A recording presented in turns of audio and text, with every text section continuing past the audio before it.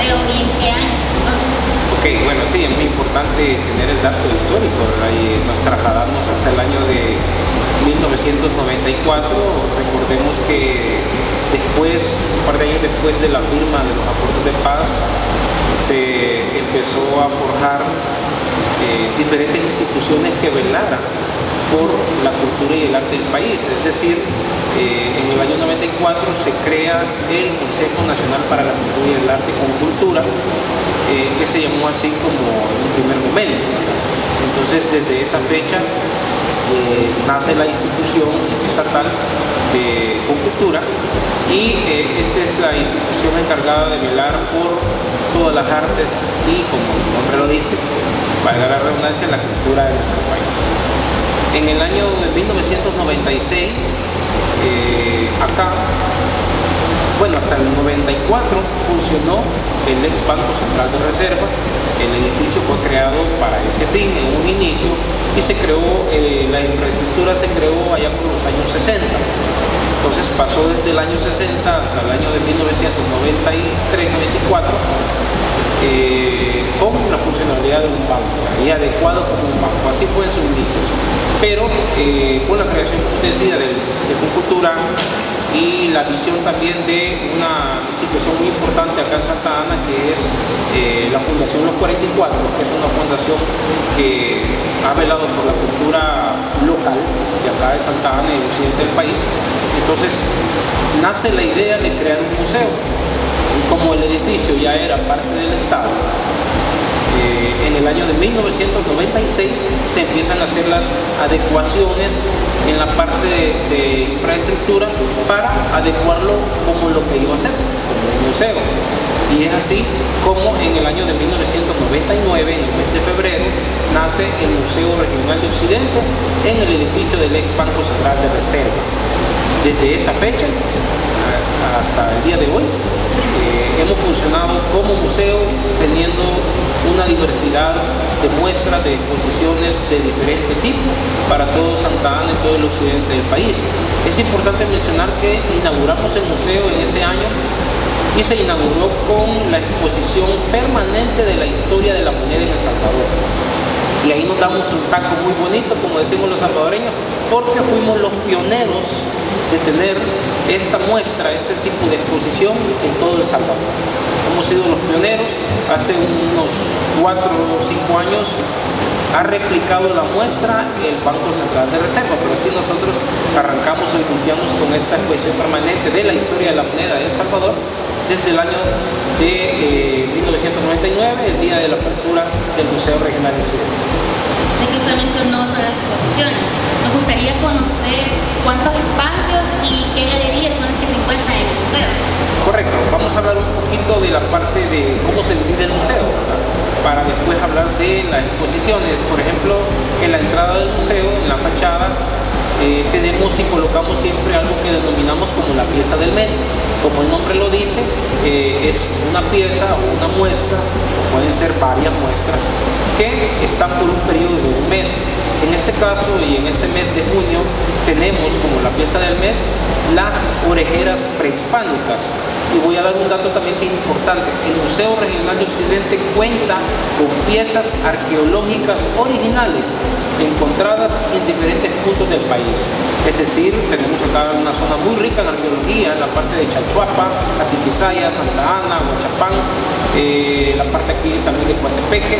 Así que tenemos diferentes muestras arqueológicas originales y también tenemos algunas réplicas también pero sí tenemos un depósito acá en el museo una ubicación física que es donde están resguardadas las piezas entonces te decía, la primera, la fachada, tú entras al museo y lo primero que encuentras es la pieza del mes. Las orejeras prehispánicas nos hablan de cómo la gente utilizaba la decoración en nuestros antepasados. Estamos hablando de la época prehispánica y hablamos de que las orejeras daban una identidad, daban una clase social, dependiendo del tamaño de, de los, de los eh, aretes o de, de las piezas, así era la representación. Es decir, el que era más noble y tenía un alto grado jerárquico andaba eh, lo que son las orejeras más grandes, mucho más pronunciadas, con piezas incrustadas que podía ser de jade eh, y posteriormente hubo otras que donde ya llevaba incrustaciones de plata y de oro. Entonces nos dan una referencia a las orejeras prehispánicas de cómo vivía la gente y daban, como te decía, un estrato social, por decirlo así, en la época. Obviamente la persona que andaba una orejera más pequeña, sin piedras tal vez, sin jade o lo que sea, entonces eh, representaba a, la población más común, la población del vulgo, por decirlo así. Así que es una pieza bonita que tenemos para que la gente, no voy a contar más porque queremos que la gente venga y visite el Museo Regional de Occidente y, y conozca eh, acerca de la pieza de mes. Posteriormente, después de, la entrada, donde estamos ubicados ahorita, eh, es llamada La Rotonda. Acá tenemos una exposición de carácter temporal que va a estar eh, alrededor de un mes más y se llama El Camino de la Bestia. ¿Por qué se llama así? Bueno, todos conocemos y hemos escuchado hablar del sueño americano y también hemos escuchado hablar en un momento de a qué le denominan la bestia en México. Entonces, ese nombre se le da a un tren, al tren que muchos indocumentados de Centroamérica y también parte de Sudamérica, algunos, viajan por esa vía terrestre rumbo al sueño americano o al sueño de los Estados Unidos, porque América somos todos. Entonces, eh, esta muestra es muy bonita porque es una muestra de grabado con la técnica de la litografía. Eh, por supuesto la litografía eh, es en blanco y negro, no lleva color, y está rodeada, la, exposición está conformada por diversas muestras de cuadros, de dibujos e imágenes que nos hablan de las diferentes vivencias de personas que han tenido que abordar el mes de la bestia en México. Aparte de las imágenes, también hay cédulas informativas que hablan de, eh, estas vivencias, de estas acciones. Así que en la sala de la rotonda tenemos la exposición temporal El Camino de la Bestia. Posteriormente, eh, en la sala 1 del museo, detrás de donde nos ubicamos ahorita, está la sala 1 y ahí tenemos una muestra muy bonita que también inauguramos hace unos días y la muestra se llama Centenario de la erupción del volcán de San Salvador. Esta exposición es de carácter lúdica, histórica. Lúdica, ¿por qué? Porque nos deja una enseñanza, hay un conocimiento de aprendizaje. Y histórica, ¿por qué? Bueno, porque nos remonta a una época y nos remonta a un acontecimiento muy importante que fue la erupción del volcán de San Salvador el 17 de junio de 1917. Actualmente son 102 años del acontecimiento, pero la muestra se llama Centenario. Se hizo en el momento de que se cumplieron los 100 años. Así que esto es una muestra también muy bonita que tiene diferentes imágenes, está adecuada y ambientada eh, para que la gente pueda disfrutar y conocer acerca de eh, lo que sucedió, lo que la gente tuvo que vivir en ese entonces con eh, el terremoto. O sea, ese fue el preámbulo. Hubo dos terremotos y esos terremotos derivaron en que después se ocasionara la erupción del volcán. Así que también eh, es una muestra muy bonita que tenemos para toda la población del occidente del país, Santa por supuesto. Y esta muestra, igual que el Camino de la Bestia, es temporal. Sí, es temporal. Lo único que dentro de las muestras temporales hay unas que duran dos o tres meses y otras que duran un poco más. Por ejemplo, esta muestra, Camino a la Bestia, eh, va a estar por casi tres meses, pero ya lleva casi dos. Ajá, entonces tiene un poquito más de un mes ahorita, pero eh, ya creo que al final, principios de julio, ya se va a quitar, porque tenemos también otras muestras que vienen en camino. Y la exposición del centenario de la erupción del volcán de San Salvador, esa va a estar por un periodo de seis meses. Así que eh, hay diferencias también de tiempo. Son temporales, pero unas duran más y otras duran un poco menos. ¿Y por el momento cuántas muestras permanentes hay en el museo? Permanentes tenemos dos, sí, ya que lo mencionas. Eh, cuando iniciamos el museo allá en 1999 solo se tenía la historia de la moneda de Salvador, pero eh, a partir de, este año se ha inaugurado lo que es la sala de Claribel Alegría, que es una poetisa y escritora nicaragüense salvadoreña que eh, vino a radicar a Santa Ana en específico a sus primeros, eh, a temprana edad. Estamos hablando que la trajeron muy tierna y aquí ella cursó sus estudios de primaria y secundaria y posteriormente se fue a estudiar a Estados Unidos. Pero no solamente tenemos la sala, tenemos eh, resguardados las cenizas de ella.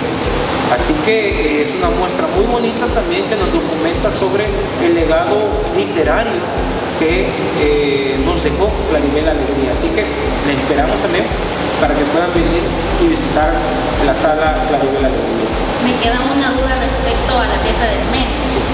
¿Cuál es el proceso que se sigue para elegir la pieza de cada mes? Nosotros tenemos una agenda eh, ya planificada anual. en ocasiones se hace semestral. Entonces la decisión personal de la agenda de la pieza del mes la hace nuestro director, el arquitecto Julio Eduardo Aragón, en consenso con un especialista que tenemos nosotros aquí en el museo, especialista en restauración de bienes culturales. Y esa es la compañera Betty Gómez, Elizabeth Gómez, pero nosotros de cariño le decimos Betty.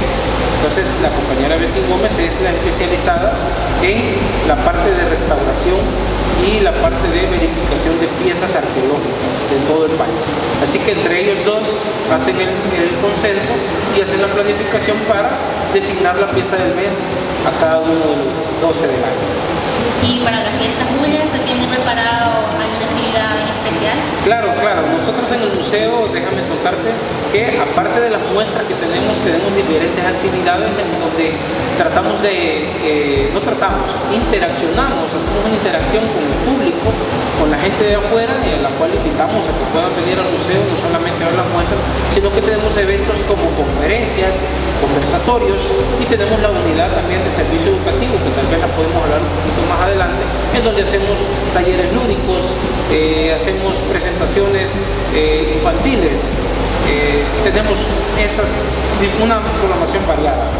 Así que, pero continuando con las muestras, te voy a comentar acerca de la última que tenemos en el tercer nivel del museo. Les decía, la pieza del mes en la entrada, la rotonda, está el Camino de la Bestia. En la sala 1 del museo, pues, el centenario de la erupción del volcán de San Salvador y en el tercer nivel está una muestra muy bonita denominada la Semana Santa en Salvo. ¿De qué trata esta muestra? Esta exposición nos comenta del fervor que, que tiene la gente, específicamente en el municipio de Izalco, Sonsonate, para celebrar la Semana Santa. Pero ¿qué sucede aquí? Nosotros podemos decir que ya más o menos conocemos porque el fervor es un fervor religioso de la, de la comunidad católica, pero no, ahí no se da solamente eso. Ahí se da la conjunción de la parte religiosa con la parte indígena. Porque como todos sabemos, todavía nosotros en el país tenemos una comunidad, aunque son pocos, pero tenemos una comunidad indígena. Entonces, esta comunidad indígena en Izalco se reúne y se une con la comunidad católica y el fervor religioso para celebrar la Semana Santa. ¿Qué sucede?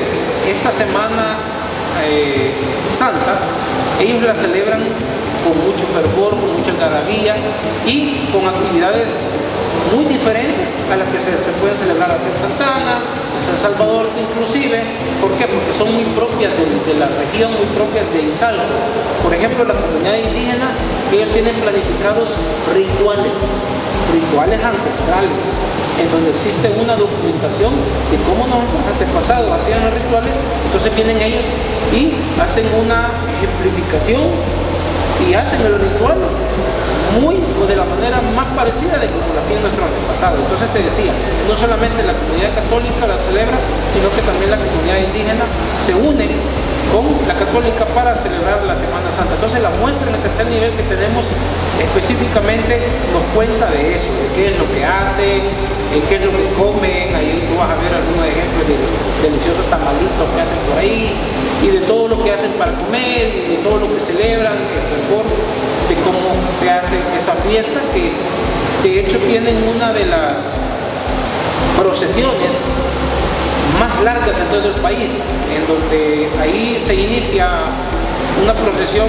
a las 6 eh, de la tarde y termina a eso de las 9 de la mañana. Entonces son una de las tradiciones y de las procesiones mucho más largas en tiempo de duración en todo el país. Aparte de la historia de la moneda, que es bastante representativo del país claramente, ¿alguna pieza que ustedes tengan aquí que sea muy representativa del municipio de Santa Ana? Fíjate que del municipio de Santa Ana sí creo que hay piezas, pero no tenemos una representativa propia de, si me hablas de piezas arqueológicas, no tenemos una, tenemos muchas, muchas de las que se han encontrado en los vestigios arqueológicos, en los sitios arqueológicos, para la, redundancia, eh, como por ejemplo en Tazumal, Chachuapa, Casablanca, eh, tenemos Joya de Serén aquí en La Libertad y está en los diferentes sitios. Como te decía, el museo cuenta con un espacio, con un depósito en donde se resguardan estas piezas y todas, todas tienen un gran valor.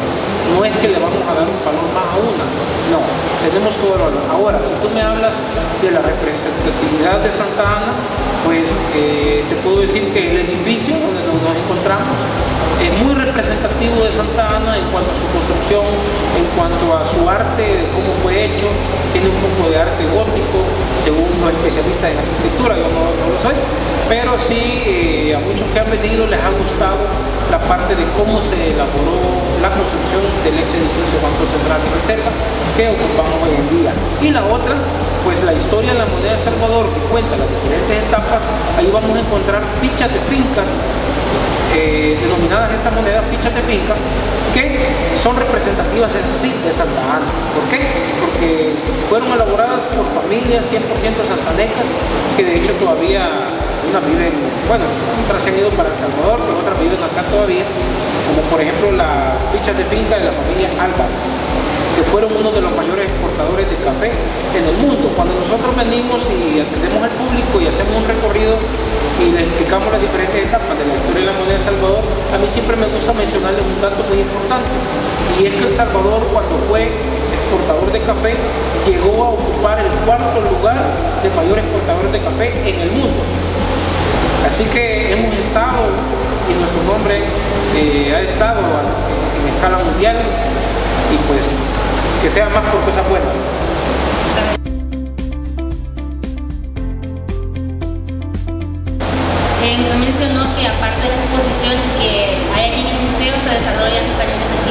Sí, el área de... Correcto, ¿Y tienen algún costo? Eh, el área de servicio educativo es una área muy importante del museo en donde nosotros coordinamos, hacemos una logística para convivir y traer a, eh, a, los estudiantes de diferentes sectores de Santa Ana y por supuesto del occidente. También déjame contarte que en ocasiones nos visitan eh, centros escolares que han venido, por ejemplo, de Chalatenango, han venido de Aguilares, han venido de Sonsonate, han venido de San Salvador, por supuesto, han venido de Oriente, de la Universidad de la UNIVO, han venido de otros centros escolares de San Miguel, de Comitepec, etc. Así que esta unidad de servicio educativo es la que coordina las visitas y los recorridos guiados con las instituciones web. Cuando tú me preguntas en cuanto al costo, estas actividades todas no tienen un costo alguno, son gratuitas. ¿Por qué? Porque nuestro objetivo como tal, como museo, como te decía, es acercar la cultura y el arte a todos en general. Uno de los mensajes que damos cuando visitamos los medios de comunicación que nos apoyan a nosotros para hacer la promoción del museo es que a mí me gusta mencionarles que el museo es para todos. El museo a veces hay gente que tiene un concepto equivocado y piensa que es para una élite o para una clase social y no, ahí es para eh, la gente de media para arriba por decir algo. No, no es así. El Museo eh, Regional de Occidente es para todos y los museos y las instituciones del Ministerio de Cultura es para todos, no es para una clase social.